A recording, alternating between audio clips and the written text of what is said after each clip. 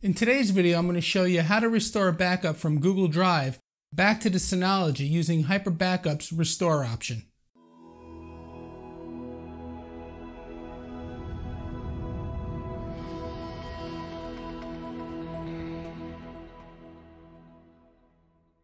Hi, my name is Tony, and if this is your first time with us, please consider subscribing to the channel and hit that little bell so that you're alerted to when I release new content. A few weeks ago, I did a video called How to Back Up from Synology to Google Drive using Hyper Backup. Today, we're going to reverse that process and we're just going to simply restore from Google Drive back to the Synology. Now, if you missed that video, I'll put a link down in the video description below as well as up above. If you happen to watch that video, you'll remember that I created a backup on this music folder and at that time I had a folder with Van Halen songs inside this folder. Now you'll see that this folder is empty. I did that intentionally for the purpose of this video so that you can see once the restoration process has completed, the folder with the Van Halen songs will be restored and available here. Let's jump over real quick to the Google Drive and here you'll see the Hyper Backup folder and files and if we click on that, you'll see all the proprietary files inside. So how do we go from here, which is unusable files to us, to getting back to usable files, friendly usable files in the music folder? Well, that's what we're going to show you now. Let's go up to the main menu in the upper left-hand corner of the screen and click on Hyper Backup. Here you see the backup task that we created in that last video. You can see that we've had successful backups. In fact, the most recent one was today, 526. Let's come on over to the left pane and we're going to come down and we're going to click the restore icon and then select data. Here we have to pick the task, so we're going to select Google Drive 1 and then click next. And now it's searching for the available configuration files. At this point, we can go ahead and leave it set to the default where it says do not restore system configuration and click next. However, that will restore the most recent instance of the backup. If you wanted to go back to a different instance of the backup, you can click here.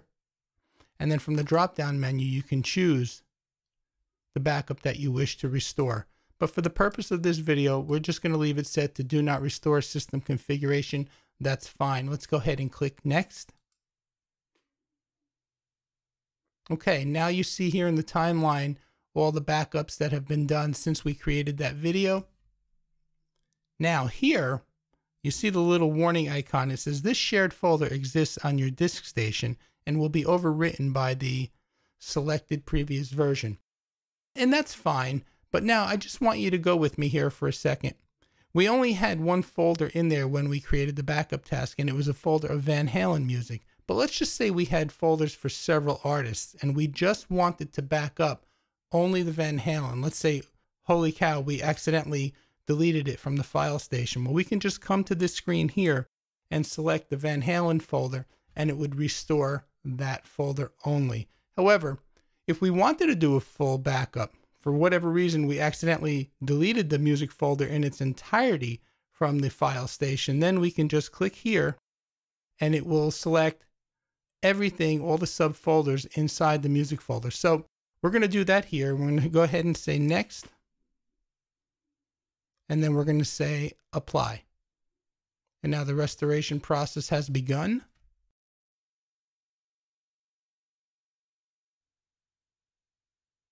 And you can see now it says the process has succeeded. So let's go ahead and click OK. And I'm going to leave this screen up for a minute because I want to come back to it in a second. Let's come on over to the file station. Now remember the music folder was empty prior to the restoration. So we click on the music folder.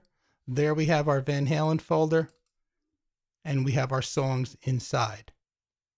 Jumping back to this window here, I just wanted to point out that today we did what's called a full restore using the restore icon. However, Hyper Backup also has a program called Backup Explorer, which allows you to view the files in the Hyper Backup proprietary folder and restore them one at a time back to the Synology or even back to a third party location like an external drive. Now, if you want to see how that's done, I did a video on that process probably about two years ago. I'll put a link to that down below as well as up above. If you found any value in today's video, please give it a thumbs up. Be sure to check out some of my other videos up above. Please remember to subscribe, like, and share, and use those Amazon affiliate links. I know they don't change your price, but they do help out the channel.